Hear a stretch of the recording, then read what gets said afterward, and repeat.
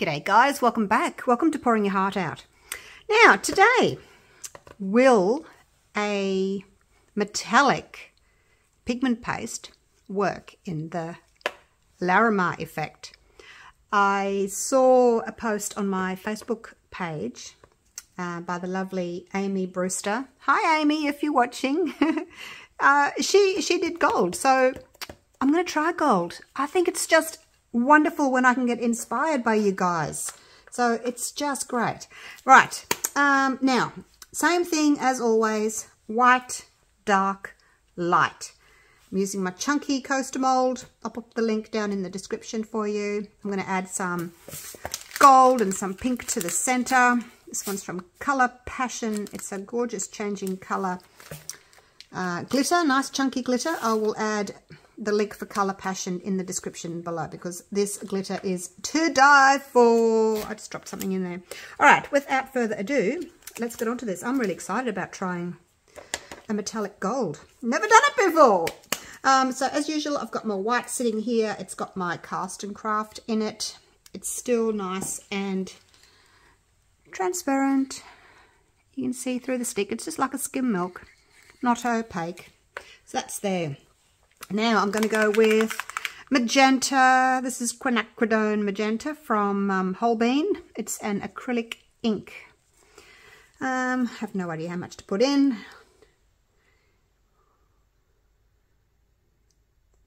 I'll just try some, try some and, and then see, I guess, what it looks like.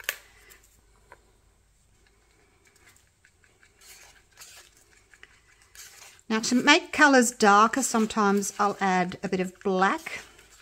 But I know when I add black to the magenta, it sort of goes like a purpley kind of a shade.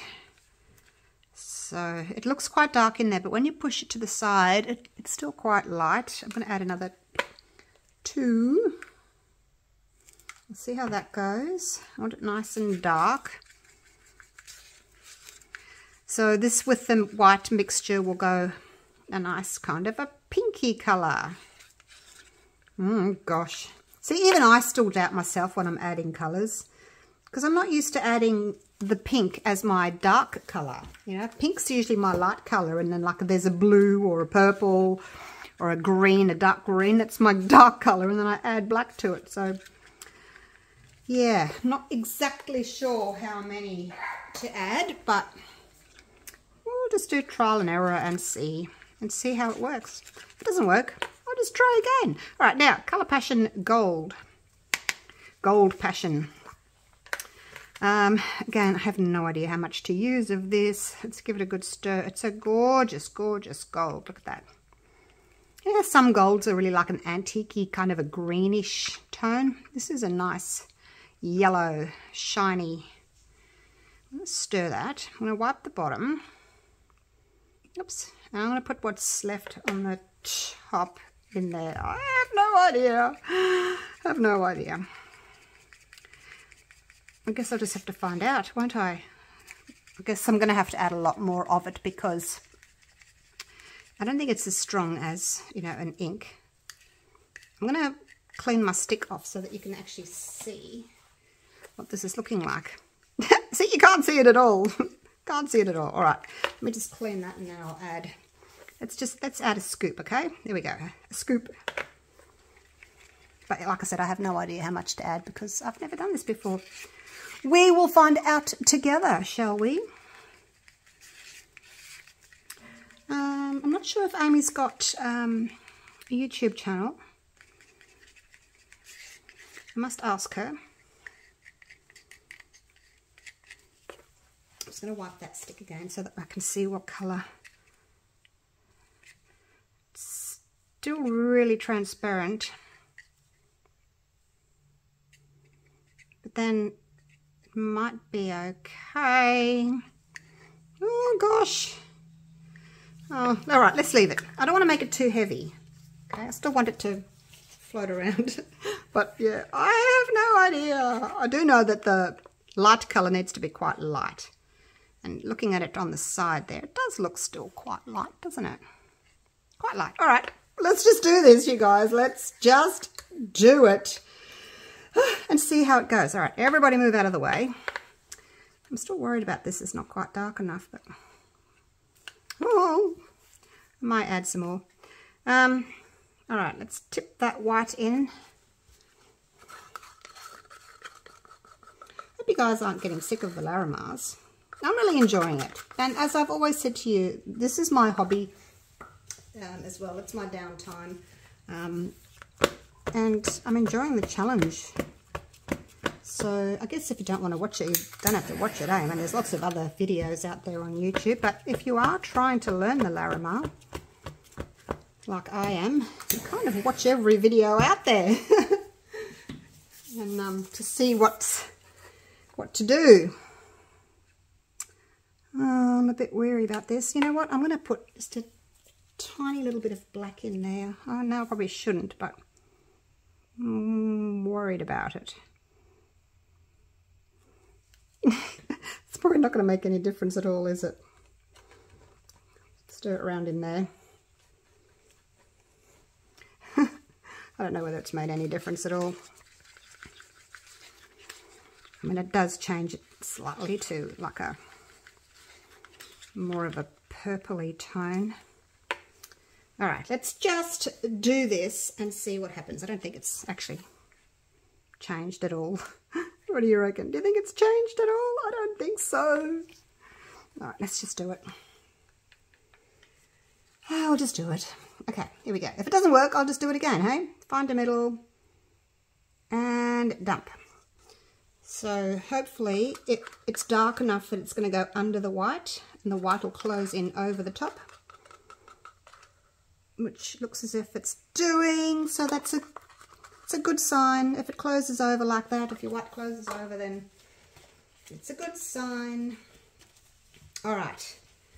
Now let's give that a bit of a torch.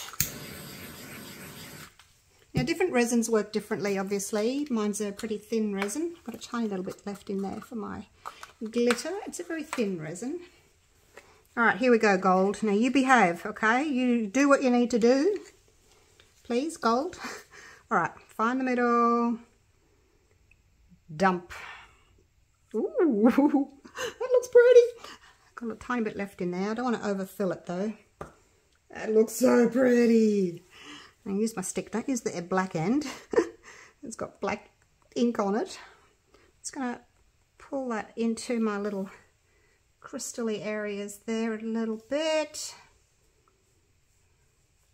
I think that's good. Alrighty. So, um, and as usual, um, as I said, I'm using the Platinum Ultra Clear. I do 112 grams of A, 48 grams of B. I have got a tiny little bit of the gold still left in there that I haven't used. So just be careful you don't overflow your mould. You can get to this stage and then think, do I need any more? But I can see it's actually doming over the edges, so don't touch it. do not fill it up anymore. Alrighty. Um, as per usual, I will be torching uh, every couple of minutes or every few minutes for the first 10 minutes or so. Um, I think the heat helps to move everything along. Really quick little torches though. You don't want to you don't want to burn your resin and you don't want to melt your mold. So I'm going to put you on a time lapse. I'm going to come back in about 45 minutes, maybe 40 because I don't want to leave it too long. Um, I should get that out of the way. Um, yeah, don't leave it too long because then my middle starts to set. All right, I will see you soon and we'll do the glitter center.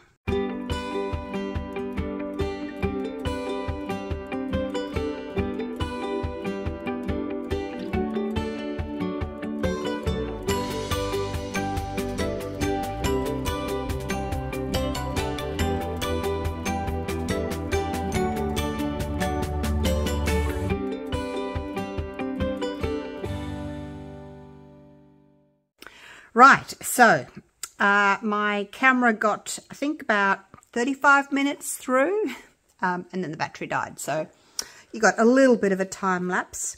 And then when I came to put my glitter in, the center had already set. I don't know what's going on. Um, yeah, it's. I guess it's been a little bit warmer today. Um, and I've poured it quite deep. Got a little bit of overflow, so I don't know. Maybe my timing was out. Anyway, it was set, so I couldn't get any glitter in there. But um, I did with my with my glitter. I didn't want to waste it, so I um I poured it out onto some plastic, um, which is which is good because then like it's still a bit soft now. But tomorrow I'll be able to peel them off, and then if I want to, I can still stick it in the middle, and uh, and do a top coat. So that's that's what I do. I don't want to waste my glitter because it's really pretty. Okay, here we go. So sides are still a bit soft. But I am super, super keen to see if this has worked because I've never done this before. Move that over there. Okay, got quite a bit of overflow there. I will snip that off later on. Oh my gosh. I hope it's worked. Do you think it has? Like, do you think we're going to get white lacing on the other side? Or do you think it's just going to be a big white mess? Or it could just be a big gold mess. I'm just trying to think of the bad things that could happen to it. Yeah, could could be anything. Or maybe it's worked. Maybe it's beautiful. All right, let's have a little look and see which way it's going to go. Oh, wow! It worked, it worked. I haven't got too much gold around here, but look at those colours. I actually like that bit of sparkly gold in the center. It's kind of like, you know, when mica powder spreads and makes those puffy, puffy looks. oh, it's so pretty. I like those colors. And yes, I've got my lacing. It's, some of them are quite long lacings. And then some See, there's a little one there. This one's like that long and there's another one there and that one's... This, there's a few little ones. Not, not many. There's a few little ones, but basically they're quite long. Um, I'm still trying to work out why sometimes I get long lacing and then other times I get short lacing. Um, what I what my theory is, what I'm still working towards on my theory is if you have a darker mix, like a, a darker, well, just darker colours, you tend to get the smaller lacing. And then when you get lighter colours, you get bigger lacing. I, I don't know. I don't know. I'm still working it out. Let me trim this up um, and I'll take you around the other side of the table and we'll have a look at it in some different light, okay? Okay, so before we go for a little walk, I've just cut out one of these little glitter centers. It's still wet. I've just put it on. It's on its little piece of plastic. So I'll just leave it there. Just so that we can see whoa, what it would look like if I decided to go with the center. Okay. So you let me know, what do you think if we put the center on because I can always add it later Get off for now. I can always add it later um, and just do a top coat. So that's not a problem. Okay. All right. Let's have a look at this in different lights. There we go. That's the ring lights shining directly on it. So very bright. It's a bit, bit, bit too bright. It's not really that bright. I'm going to walk around here and get away from those ring lights. Oh, look at the gold. Look at the gold. Look at the gold sparkle. Oh, look at it. There it is. It's a little bit sort of poking through on the sides there. Maybe I didn't add enough of the gold paste. But look, my first time, I didn't know how much to add, but I guess I could get away with it, adding a little bit more. Now, my theory behind big lacing and little lacing is I tend to get big lacing like this, as in long lacing. Um, when my colours aren't dark enough. I think the darker the colour, it kind of stops the lacing from spreading so much. Uh, I really don't know. I'm still I'm still working that out. Still trying to work out how to get big lacing, how to get small lacing. There's just a different look for you. That's without all the bright lights on it. But uh, yeah, you let me know what you think. Which way you like. Do you like the big lacing like this? I have got some smaller ones in the centre there. Look, every time I do it, it's different. And I, it, it may well be because different colours that you use. Um, yeah, just, I don't know. I, I'm thinking, though, that it wasn't quite dark enough. And I did say to you, oh, I wonder if I should add a bit of black or a bit more of a magenta. So I probably should have added a bit more. Um, and But to test my theory, I'll have to do it again. Oh, oh, oh, what about, what about navy blue? What about blues and silver? What about navy blue and silver, you guys? Hey, that'd be nice, wouldn't it? Yeah, it opens up a whole myriad of things I could do, different colours I could do, for sure. But um, yeah, let's try blues and silvers, hey? But uh, probably have to try the, um, the gold and the pink again, just to see, maybe put a little bit more gold in, add a little bit more colour. Um, maybe I could do like a uh, like a darker, maybe like a red and a pink and a gold, something to make that a little bit darker. And just to see if I can get some smaller lacing because I'm thinking, I'm thinking that's the reason, but again, I'm not totally sure.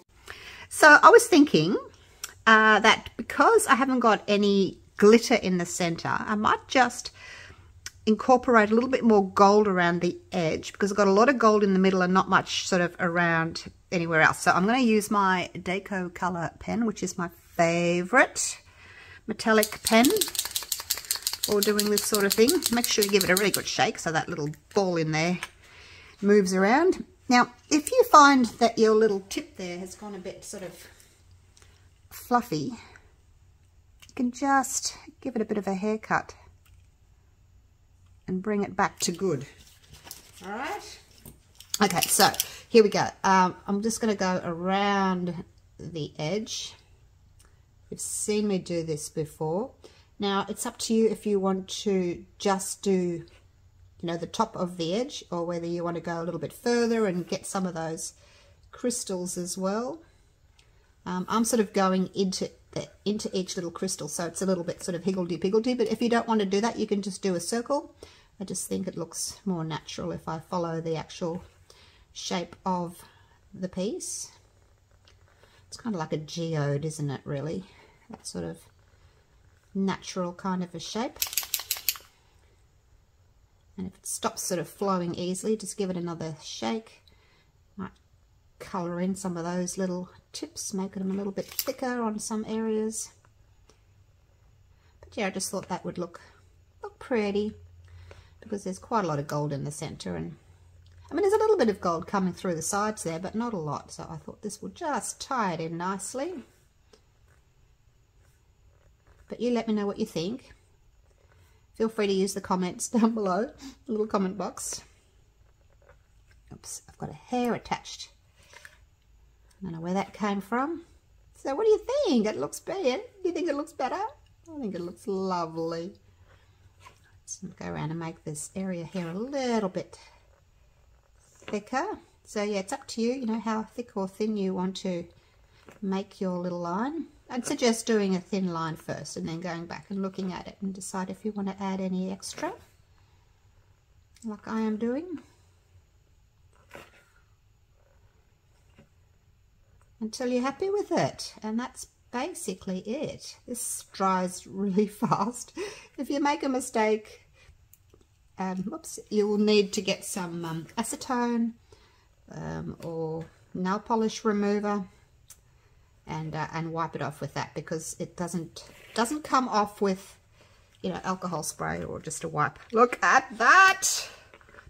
It is divine. You can see how the gold is shimmering there around the edges it picks up the, the shimmer in the middle. Let's see if I can go and show you the shimmer. Let's go and have a little look. See if we can pick up the shimmer a little bit better for you. Shimmer, shimmer. Look at that. I think that looks so pretty. Just finishes it off. But then that's just, that's my choice. I like it. There you go. Oh, there's the gold. There it is. So definitely we'll be doing this again. I'm going to try navy and silver next. See how I go with that. But yeah, love it. All right. Thank you so much for watching. And uh, I will see you all again real soon for the next video. Take care, guys. Bye for now.